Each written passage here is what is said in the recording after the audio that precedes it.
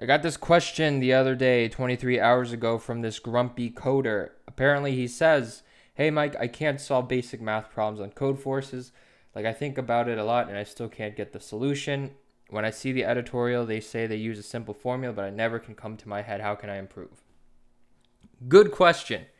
Good question, grumpy coder. Okay, so for me, personally, if it's a math problem, that you have very trouble to use, right? It's it's a math problem. You need to come up with a formula, right? Ideally, even like basic math problems, you need to come come up with a formula. Generally, to come up with a formula, right? Uh, there's you have to figure out some relation. Maybe it's like uh, maybe it's a quadratic equation, maybe it's a linear equation. Something something occurs, right? There's a certain observation or relation between two two corresponding numbers or something, an x or a y that allows you to come up with a formula to solve the problem. So now, um, what if you can't solve the problem? That's a good question. Okay, so what generally what I do is once I try my hardest, like absolute hardest, like probably an hour or an hour and a half, and I still can't solve the problem. Let's say I still can't solve the math problem. What I generally do is what I do is I end up reading the editorial.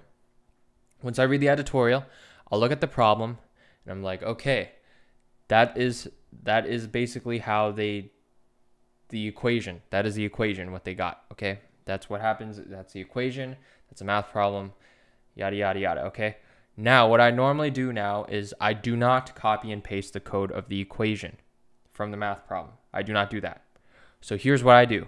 All right, because uh, generally, to me, when I when I when you copy and paste code, the math equation, you end up not learning anything right? To me, you're just ending up copy and pasting the code, and then you, you just say the number of problems you just solved just increased by one, right? But that really doesn't that doesn't help you. That doesn't that uh, that really doesn't help you at all in terms of solving problems. So what do you do? Okay, once you finish reading the editorial and you have the math problem, right? And you've looked at the math formula. Here's what you do. You stop what you're doing and you take a break and whatever you do, you let, let it absorb it in your head and you do something else maybe a day or two days, maybe yeah, maybe two days, maybe three days, right? Or or another thing, go do another problem. Do another problem. Like there, maybe your problem is too hard. Do a little bit easier problem, some easier math problem, but whatever. Let the editorial sink in your brain. Now, after a day or two days, come back to the problem and try to figure out the math equation yourself. Sooner or later, you should be able to figure out the math equation yourself, right? After forgetting the problem. After completely forgetting the problem, you have to try to figure out the math equation yourself. If you still can't figure out the math equation yourself, look at the editorial again and repeat. Okay. The reason why this works is that um, if you let the editorial sink in and then you solve the derive the math formula yourself, you're more likely to come up with the relations given another problem. Right? If, if you just find a problem and you just copy and paste the code, it's not going to help you at all. So generally what you should do is you should after reading the editorial, take a day or two forget about the problem, maybe do another problem, then come back to it, and then then try to solve the problem again. If you still can't solve a problem, read the editorial again.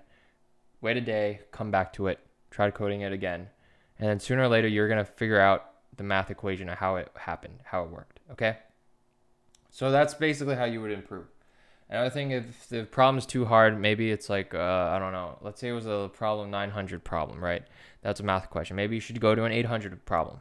I don't know, maybe you maybe you should like drop down a little bit more. I mean, it's up to you. But yeah, generally this is how I would do it, how I solve math problems. It generally helps me improve. Um, back when I was like I was at like level 800 and then I, now I'm level rank 1000. So it's not that much big of a jump, but it is still a jump to me. Before I couldn't even solve division 2A problems. So now I can solve 2A and then sometimes I can solve 2B. But generally the case is that I've gotten better. But yeah, that's basically what happens if you can't solve a math problem. Uh, I hope you guys enjoy this video. Rate, comment, subscribe. I'll check you guys later. Peace.